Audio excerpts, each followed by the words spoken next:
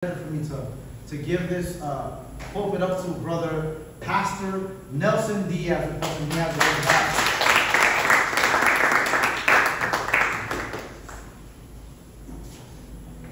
God bless you all. Amen. Amen. One amen. Praise be to God. Let's try it again. God bless you all. Amen. Comienzo. That's all right. I'm excited. I'm honored. Like always, I'm nervous. Praise be to God. Thought I was gonna earl earlier. It's been a nice week. Been a quiet week. Something different for me. Because every time I gotta preach, things start getting hectic. So that put me a little worried. Why is everything so calm? Because before the storm, there's a calm. Yeah. I mean, so I'm ready. But it's been a blessed week. I shared earlier that uh, I went to jury duty today. Unfortunately, I didn't get picked. I wanted to serve.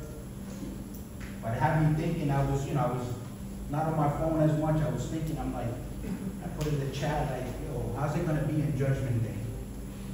Right? It's not gonna be, it's so quiet, everybody, you know, what I mean, I'm like, it's gonna be a lot of screaming Yeah. a lot of crying.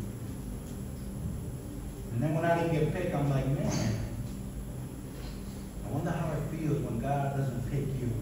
Wow. But then I said, you know what? I didn't get picked because I didn't believe, I didn't belong in that judgment. I belong in a different judgment. Right. As the son of God, I didn't belong in that judgment that I was thinking. The one that I got to come to God and tell him, oh, but I did all these things in your name. So it was a great experience, but unfortunately I didn't get picked. So I had to go home. And I was ready to serve because my job pays so I can, you know, do something different. And I need, I even thank God, as soon as I got here, I thank God just to give me today, Friday, away from work. Because like I said, sometimes I have a lot of issues at work. This week has been quiet. I don't know why, but God is doing very amazing things. Yes, he is. I'm, Amen. I'm spoiling a little because I know there's a few in the way. But let's get right into it then. Take out your Bibles. Thank you, Lord. I'm going to talk to you about your purpose today. If you saw the title, Step Into Your Purpose, I was trying to work what me, uh, what uh, Pastor Dave told me last time, one step at a time. It only takes one step.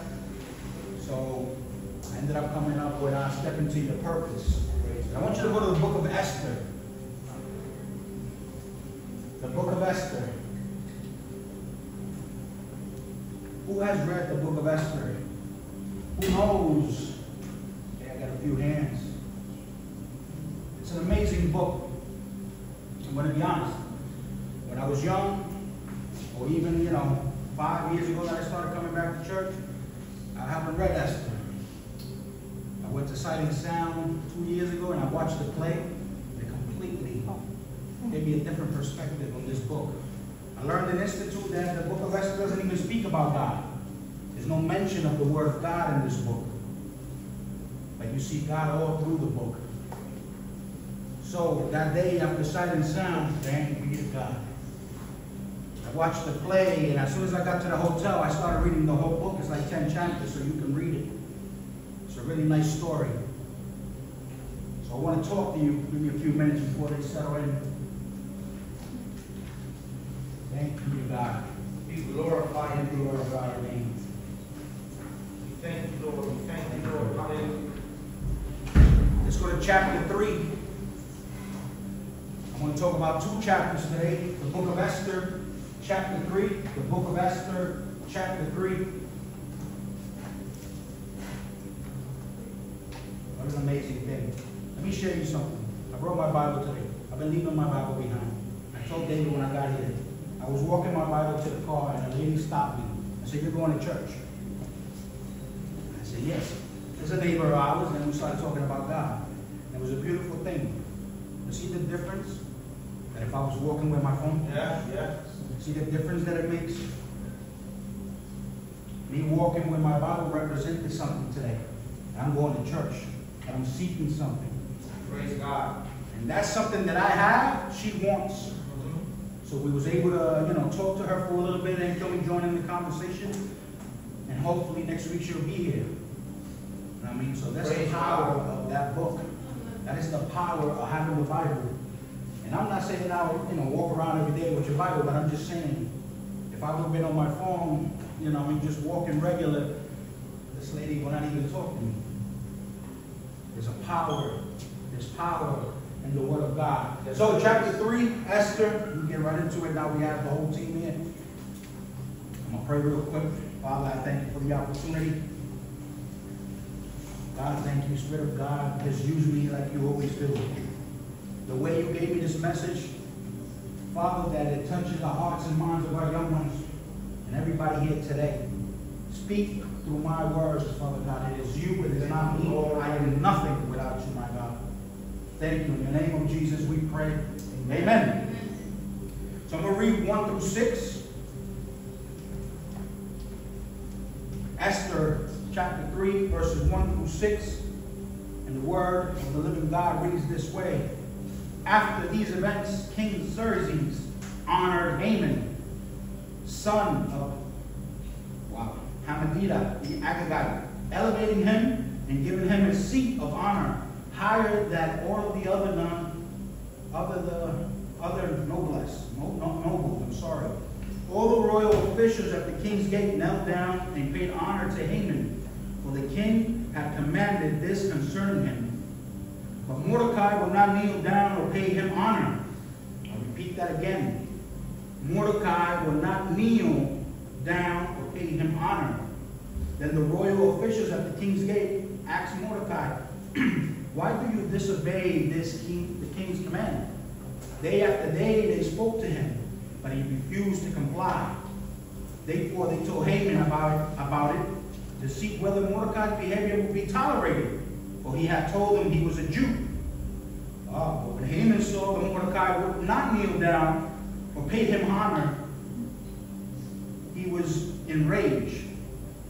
Yet having learned who Mordecai's people were, he scorned the idea of killing only Mordecai.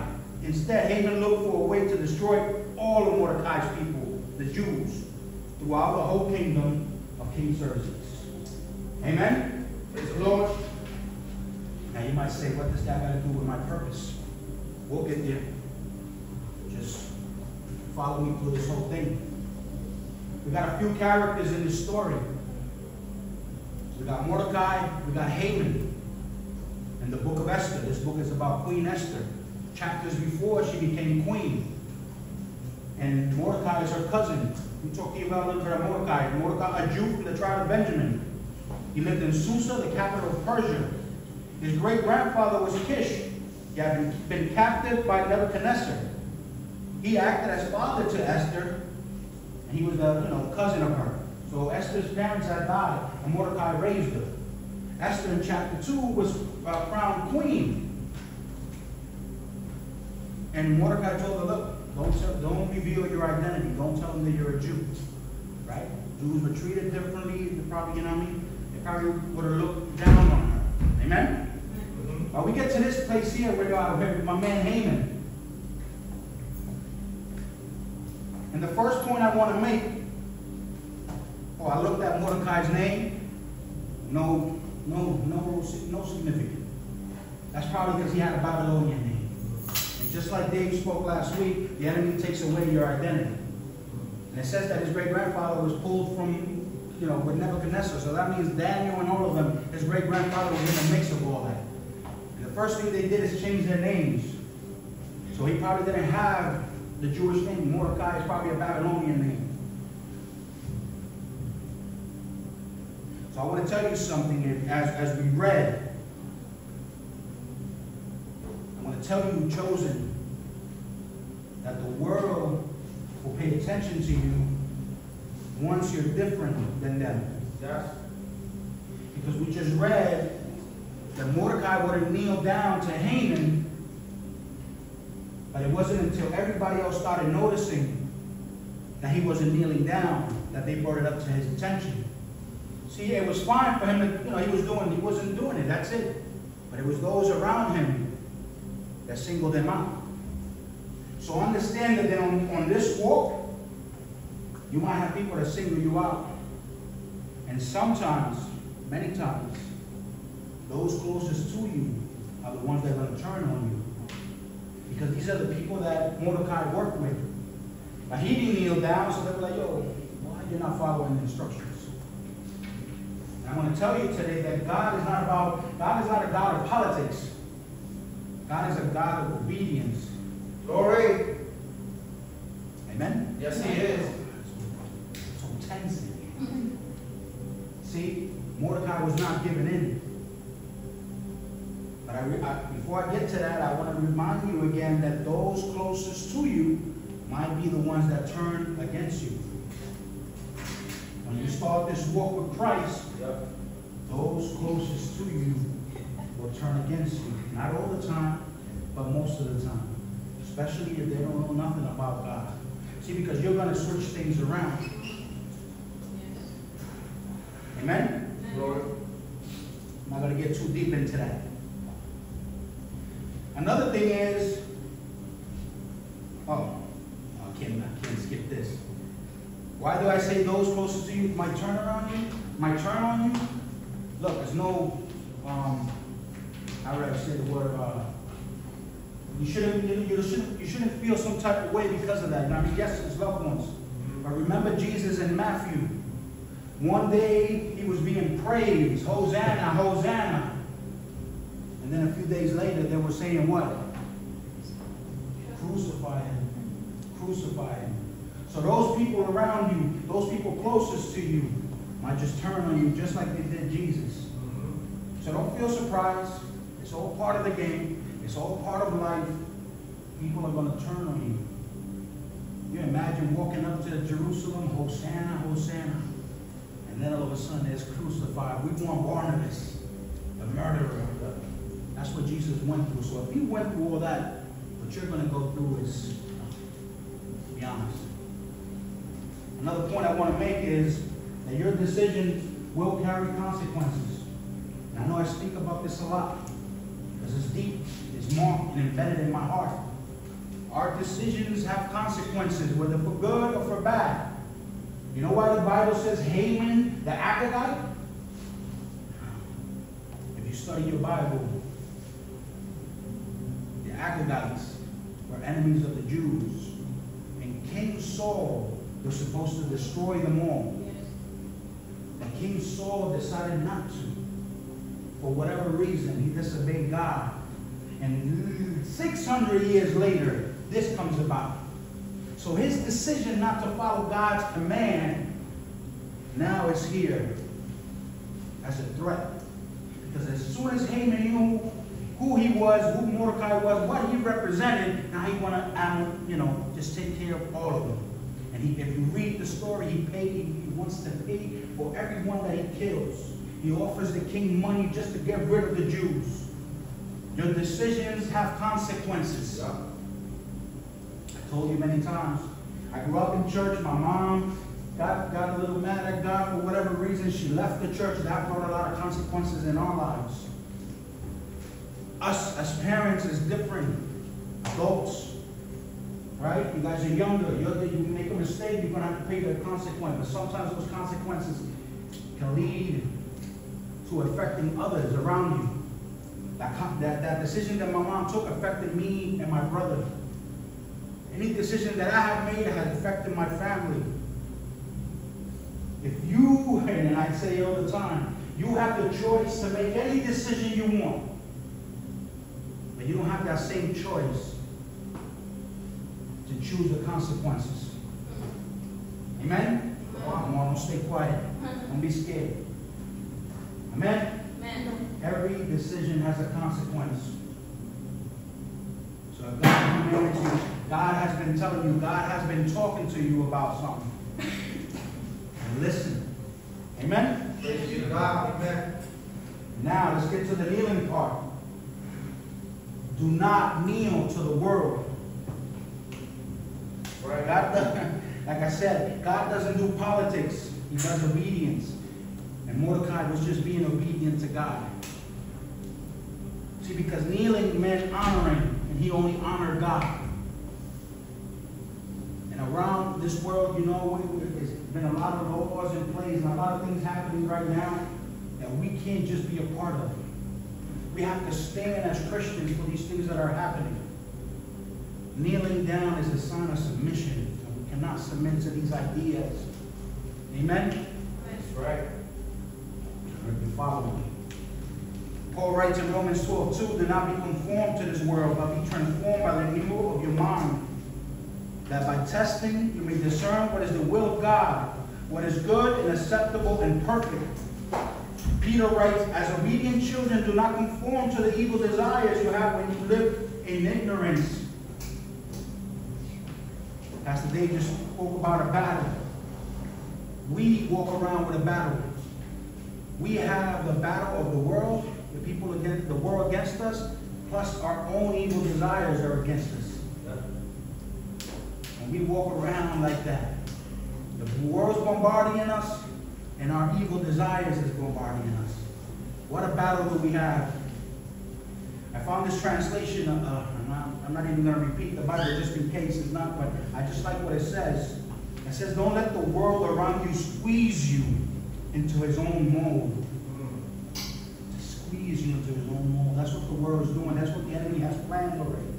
All these things that he has put, it's just to get you away from your purpose. He already has set all these things up. See, people think of the devil, he's just, you know, all out and about just trying to destroy us. But now he already put all this thing in purpose on, on, on a movement already. We're just guinea pigs, we just jump on it. Right? Like I said before, this is a gift and a curse. I can do so many wonderful things, but I can also lose everything. I can lose my salvation on a swipe. Wow. See, the enemy planted all these things. Long time ago. So we should not kneel to the world. We should not be conformed, that means shaped to the world. Let this shape you. Let this squeeze you into its mold. Let God break you and build you back up through the word of God. Yes, praise God. Praise God. We should not allow ourselves to be pressed into the following corrupt customs, ungodly principles, or evil plans of action promoted by this world. You see it all over. I don't have to get into all that. Psalms 1, 1, 1 through 4 says, Blessed is the one who does not walk in step with the wicked, or stand in the way that sinners take, or sit in the company of mockers, but whose delight is on the law of the Lord and who meditates on the Lord day and night, that person is like a tree planted by a stream of water, which yields its fruit in season, whose leaf does not wither. Whatever they do, it prospers. Yes. Not so the wicked. They are like chaff that the wind blows away. Chaff, una pajita. Gone. So if I am planted, I am rooted on the law, on the word of God. Anything they throw against me wouldn't move me, wouldn't shake me. I don't walk around with the sinners. Now, I'm not saying you can't be friends with sinners. It's just to be around them and doing things that they do. Right? Because we got we got many sinners. We got friends that are sinners. We got family members. Right? Don't sit at the table with mockers, those that mock God. It's not acceptable that you be in the mix of those conversations. Amen? Lord. First Peter says, one, uh, First Peter 1, 15 and 16, but just as who called you is holy, so be holy in all you do. For it is written, be holy because I am holy. God is a holy God, and he is looking for you to be holy. Amen? So work to work it every day. Like Pastor Dave said, oh, last, last week was so beautiful. There's so many things that we got to get rid of. There's so many things that we have to do. Take it day by day, day by day, to get closer to God. I remember I couldn't leave the music. I left that, right? Because I worked on it day by day, day by day. But you have to work on it. If you don't work on it, if you don't care, if you're just on your headphones, gone, then it is what it is. But if you want to be holy, if you want to work towards that, if you want to get closer to God, work on that. Yes, yes. Work on it. Work on it. Be like Mordecai, bro, that's just not gonna do it, I'm just gonna, whatever the consequence is. Now, understand this, that now Haman goes to the king and puts a bounty on these people. And I didn't want to read all this story. This story is beautiful. I, I will encourage you to read it when you get home or when you get time. Even in the mix of everything, when they do, when they write it out, they threw di- like a lot, like that's like dice. And the number came out 12, so they, they got a whole year. Even God would just put his hands on that. It wasn't a month later, it wasn't two months later, it was 12 months later when all this was going to happen. And they were going to kill them all. Right? It was a plan hatched out. Just because Mordecai did not kneel down. Just because Saul did not take care of those uh, uh, Amal- um, Amalekites back then, 600 years before. The world is so against us. And you have to see it. If you're blind to it, I will say, work on that. Because you have to see what the enemy is trying to attack you with. You know I mean? I, I, me and Dave spoke, and look, this generation has got it harder than all of us. Like he said last week, for him to go do his thing, he had to sneak. Now there's no more sneaking. Just open this thing up and just get lost and do whatever I gotta do. I mean, you guys got it harder. The information is like this. Everything is at, at your hands. I work on it. Understand that all these is works of the, of the world, and we should not kneel to the world. Amen? That's right. Amen. Also, take control of your thoughts. man, I'll tell you, man, sometimes the mind plays games with you.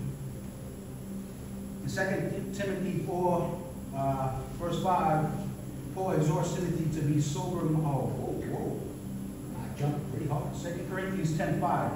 We destroy arguments and every lofty opinion raised against the knowledge of God and take every thought captive to obey God. Look, one of the hardest things for me, and, I, and I'm thinking me personally, is those thoughts that come of the things that I used to do. Because I've done so much. I'm way older than you guys. I did so many things. I get bombarded with these thoughts, and sometimes, yo, like my mouth gets watery. And I'm like, man, I gotta, I, uh, in the instant, God, take it away. that's not me anymore. But that smell, you smell something, or you just, you know, a thought, uh, uh, something just pops up and you go back to that. You have to take your thoughts captive, scripture says. Anything you have doubt, bring it to the scriptures. Oh, beautiful. Yes. Use the word of God. Use this as a filter. Anything that you have doubt with. Look, the Bible doesn't speak about drugs, right? I I haven't seen cocaine in the Bible. Weed, um, none of that. Uh, alcohol, it speaks about alcohol, right? None of that is in the Bible. So how can I put it through the filter of the Bible? That's when I to Timothy and it says, Paul exhorts Timothy to be sober-minded. Sober-minded literally means free from intoxicating influences. We speak of a person who is not drunk with alcohol or high on drugs as being sober. His or her or his mind is not under the control of a dangerous outside force. The Bible doesn't speak about drugs. The Bible doesn't speak about getting high. But he just told Timothy to be sober-minded. That I can't let another force enter me and then take control of my decisions. You know how many bad decisions I made when I was drunk? You know how many bad decisions I made smoking weed? I'll tell you a funny one. Me and my wife was making a flan one day. Weed? No? No, we were, we were, we were smoking though. And when she made the caramel, who knows how to make caramel? What is it? Just sugar. And she pulled that caramel out. I was high out of my mind that I put my finger on it because it looked so delicious. And I think I got a third degree burn in my finger. I think stuck to my finger. Oh, yeah. I was not in control. Wow. It's a funny story, but I was not in control. I was so high that I put my finger on that caramel and it burned, bro.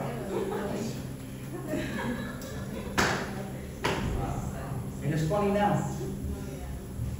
There was something else controlling me. Because if I would have been sober-minded, I would have known not to touch the hot caramel. I would have waited for that flan to, you know what I mean, do its thing. Amen? And I'm going to be honest, now that weed is legal, I struggle. Not that I struggle, that I, you know I mean, but you smell it everywhere now. And I go back to those days, you know what I mean, of smoking and eating all the munchies and all that stuff. It's a battle.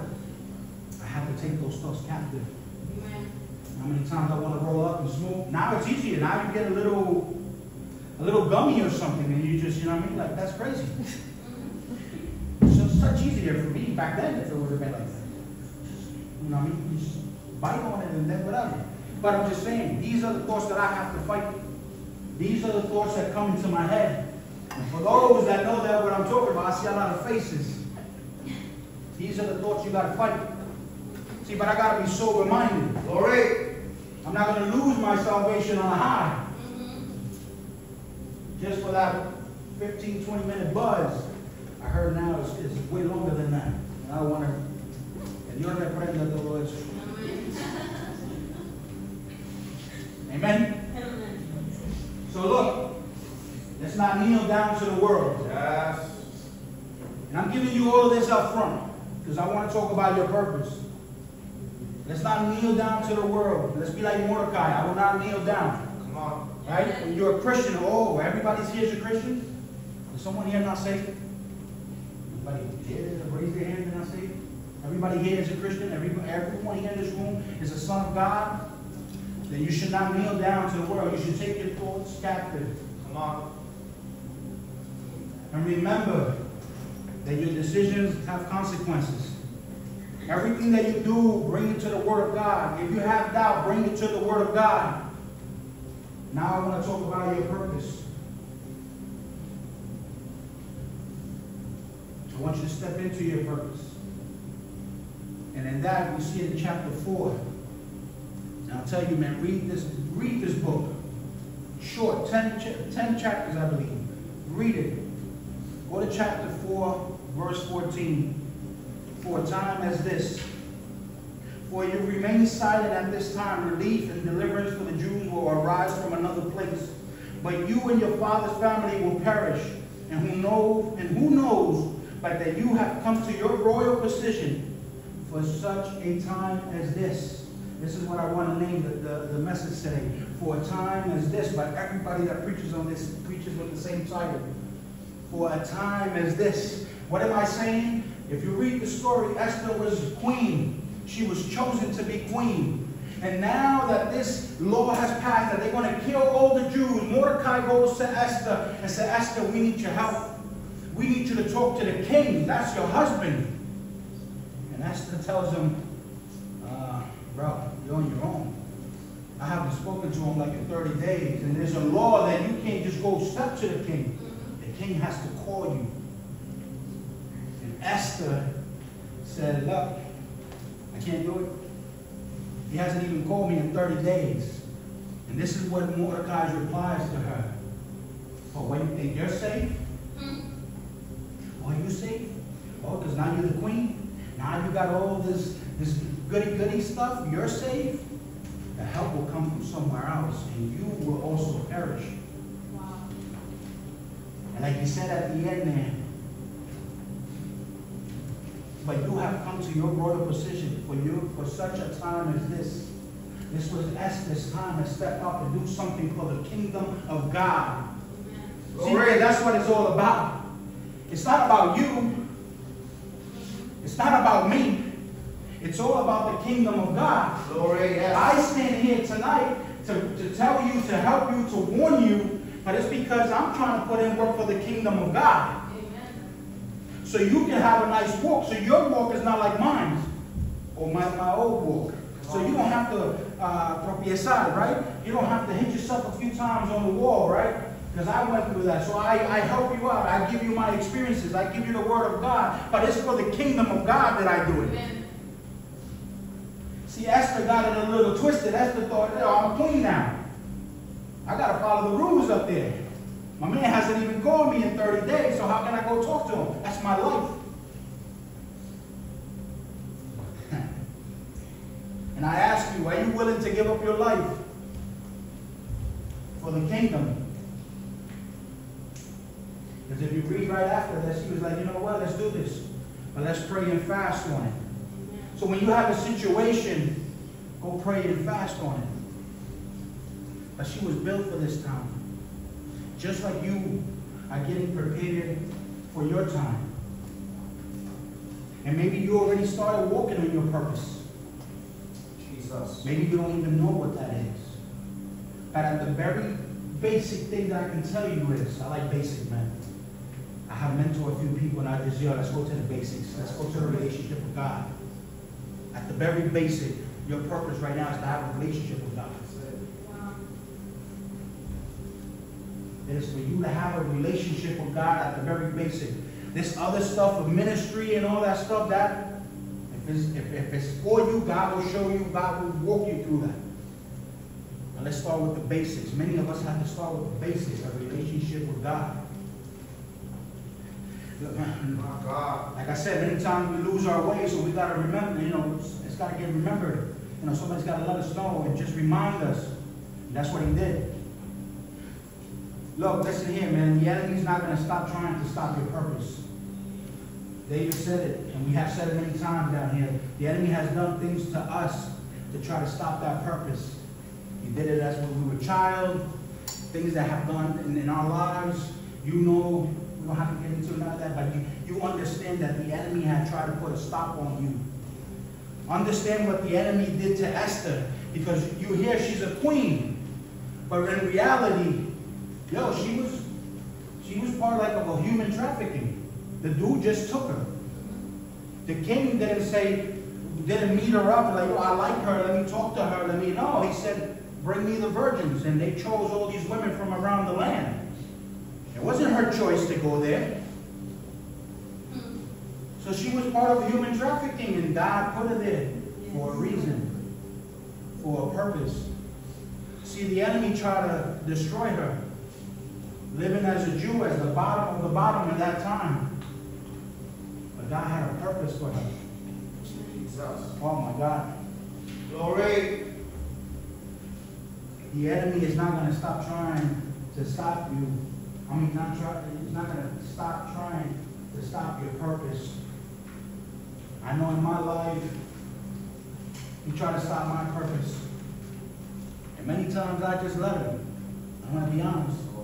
Many times I let him because I knew better. But I chose to just keep going. I chose to keep going out, drinking, smoking. I chose that. Knowing that one day God can come. Knowing because I had the fear of God since I was a little kid. Knowing that one day that trumpet will sound. And I will stay behind because I thought I had time. Oh, I don't have to do all these things. I got time. These people have been talking about Christ is coming since the 80s. He's not come yet. I still got time to mess around, drink, and all that stuff. See, I stopped my purpose. I gotta be honest with you, because I knew. If you didn't know that I was say the enemy worked on it, no, but I knew. Me, Nelson, I knew my purpose. I knew my purpose that I that I was supposed to be in a relationship with God. But I decided not to have that relationship with God. I decided to do other things. Right? And that's that almost cost me my whole family. You guys know that. It would have been me just here in church. Who knows? Because I didn't want to walk in my purpose. I chose not to follow God. I chose to just say, yes, I know God. But I still have time. Tomorrow is not promised, I tell you. I thank God for what He did and changed my life. As I was, I was as I was speaking to this to this lady today, it kind of reminded me because she told me she gave me an excuse. Oh, you got to invite my husband. This, that, and the third. I said, look, you know how I speak. I'm a straight shooter. Look, stop putting all these pedals. Just start going. Yes. Because if you remember, I'm the one that first started going back to church. My wife did not follow stop it with this excuse. I need a whole group, I need a whole entourage to come with me to church. Nah, it is you. It's a personal thing. It is you and God. I know he tried to stop my purpose. Glory. And I let him stop my purpose. And I'm sure the enemy has tried to stop David's purpose. And I'm glad Jimmy's here because Jimmy said something in the first fest that we went together. He said, David is the glue that put this thing together. Was it you, Jim? He said, David is the glue that put all this thing together because this group was, it had, it had the downtimes. It was falling apart. And David came and glued everything together. But I'm sure, and I don't, and you know, I didn't speak to David about this, but I'm sure the enemy many times has stepped into trying to stop his purpose. Even the story of him coming here, he was going somewhere else. Mm-hmm. And God told him, whatever happens is on you. You see? But at least he's in tune with God to say, hold up. Let's not do it that way. Let's do it your way. Right?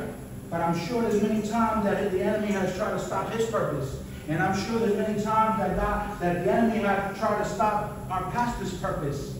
Right? Anything, everybody. It doesn't matter. He doesn't want you to go to heaven. He doesn't want you to have a relationship with God. He lost. Right? And he's just trying to drag you with him. And sometimes we're just puppets and we choose to be used by him and lead other way, other people astray. Where you know we're stumbling blocks for others. That's why you have to connect with God in such a way and understand that you do have a purpose. Understand that because now Queen Esther is a Queen Esther now. That she was just gonna chill and nah, y'all on your own. Nah. You was made for that purpose. For that purpose. And she did. She walked, she fasted then, and then she went to the king. And if you follow the beautiful story, you see all the good things that God did. The enemy thought he had an advantage on God's people. And once again, he was the threat of genocide to God's people ever since the garden. Understand this. From the beginning, Adam and Eve, the enemy has trying to stop the plan of God. He's trying to stop Jesus from the beginning. Because that was the promise right after Adam and Eve sinned. So he has trying to do everything that is in his power to stop the Messiah.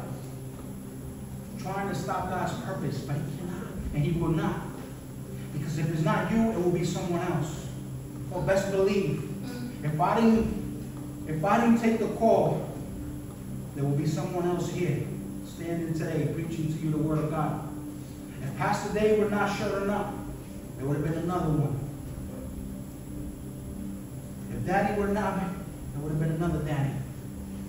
God's thing is going to keep on moving, but He wants to move with you. Yeah. He wants to move through you. Yes. So don't get it twisted. We're just a number here. But God wants to do something great in your life.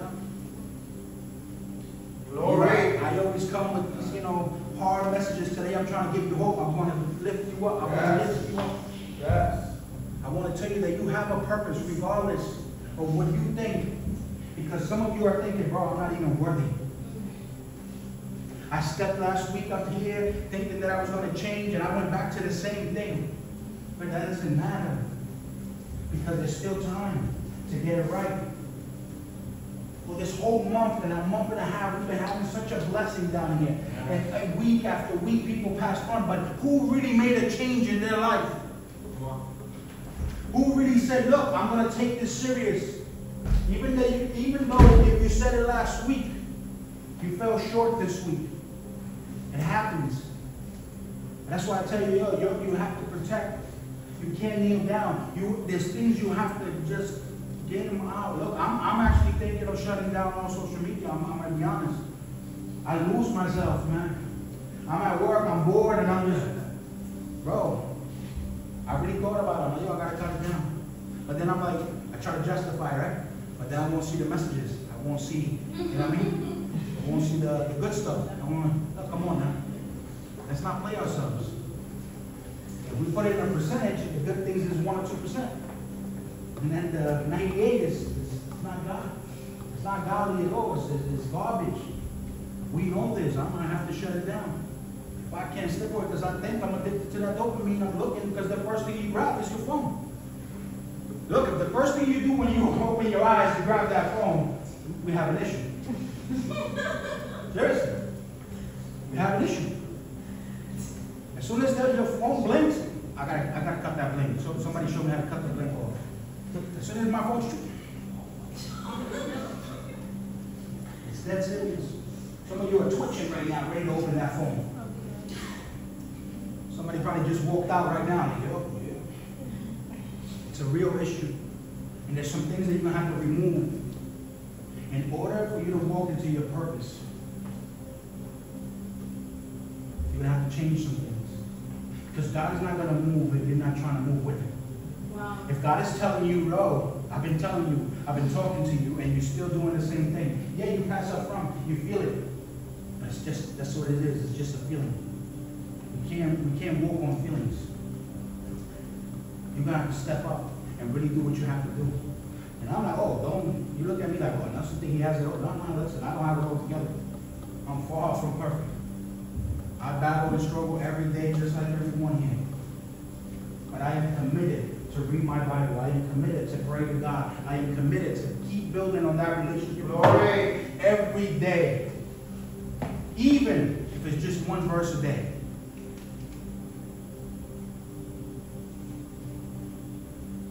Yes. Don't be. Thank you, Lord. We glorify your name, my God.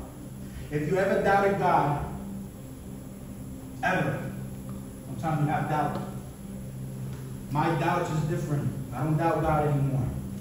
What? I just doubt us. I just doubt me, us, the church sometimes, because I don't see the power of God move. Right? In certain situations. Scripture tells me that we will heal the sick, that we will cast out demons, that we will do these things, that we will do greater things that Jesus did when he was here. Not saying that we're better than Jesus, we're nothing, you know, closer to him, but he said we will do greater things. And I just don't see it. So that puts me in doubt, but not in doubting God, doubt in me. What am I doing? What am I doing wrong that I can't get that? Why, what are we doing as a whole in church that we don't see that? Yes. But if you have doubt of God, just God in general, if you there sitting right now in this room and say, no, I don't even think God exists. Look at this story. Look at God's people, the Jews. Look at their history. They were founded on God. And they went through all such things to try to get rid of them. You know what I mean? They try to, from the beginning, they try to destroy these people. You see it in this book. You see what happened with the Nazis. You see all the, you know, the, what is it called? The, the Holocaust, right? You see it, and they, still standing. You can't tell me that's not God. They're in a place in the Middle East where everybody's against them. You can't tell me that's not God. I, I saw this, this, um, I guess it's a Muslim of Palestine. He's saying that they shoot rockets at them and the rockets veer off. You can't tell me that's not God. If you doubt God, look at just the history of his people. I'm not going to take much time on this. Look, there will be a big moment in which we must choose God's purpose over our own comfort. Yes, yes. Amen. You're going to have to make a choice. Either I'm going to step into God's purpose or just stay how comfortable I am and just, you know, do my thing. There's going to be that one moment that you're going to have to make that choice. Yeah. And I tell you, chosen, I tell you, friend, if you're not really in that relationship with God, today is your day to make that commitment. Don't let it pass. Tomorrow we don't know. We can step out of here today and not make it to our homes. That's how it is. There's going to be a moment where you're going to have to make that choice. No, no matter how big or small your purpose could be. Like I said, at the basics, just giving your life to Jesus. I spoke about last time that many of us might be Isaacs. Isaac doesn't have a real big story in the Bible. But without Isaac, there's no Jacob. That's right. Without Jacob, there's no Joseph. Without no Joseph, there's no Moses. Without Moses, there's no Joshua. Uh-huh. Oh, Father God. Without no Joshua, there's no judges. there's no Samuel, there's no King Saul, and there's no King David, and we can go on and on and on till we get to the Messiah. See, Isaac's purpose was just to be a God, uh, a God-fearing man that raised his family. And many of you, that might be the call. Don't overthink it. If you're into, if, if God's going to put you in a ministry, believe it. Believe it that He will show you the way. He will open the doors. He will walk you through it. But don't let that be so much weight on you. Because maybe God just called you to be a woman of God, a man of God, that someday will be a wife of God, a husband of God, that will raise beautiful kids, that maybe them will be pastors, maybe them will be teachers, or maybe you're a teacher, you're a pastor. And the beautiful thing about the gifts of the Spirit, that He gives it how He wants, so maybe God will use you to give a prophetic word. Yes. And that prophetic word can change everything around someone's life. Just that one word. Yes. Maybe by you choosing God and by you know having that relationship with God, you might change the outcome in your household. Wow. Come on, come on, yes. Wow. Maybe dad doesn't serve God, maybe mom doesn't serve God, but you could be the difference maker in your household. Amen. Glory be to God. Your purpose is to change your household and those around you. Their pur- your purpose might be that that uh, co-worker or that fellow student, right? That just sees something different in you, sees that you don't walk around like the world, that you don't talk like the world, and it says something about you. I like. What is it? And you have a chance to show them Jesus and talk to them about God. That might be your purpose. So chosen.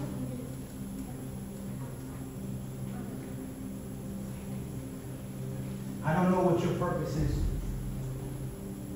But at the very basic, you should have a relationship with God.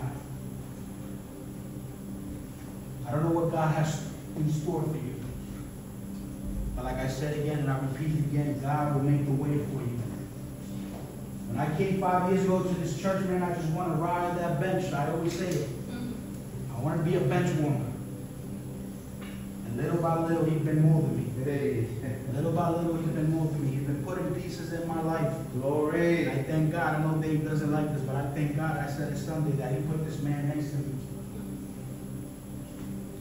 Because iron sharpens iron. Yes. And you should be able to talk to other, you know, you and build up and, and, and build a relationship and, and grow together. And, you know, this should be uplifting you and changing things. But yet, a lot of you are going home and going back to the same thing.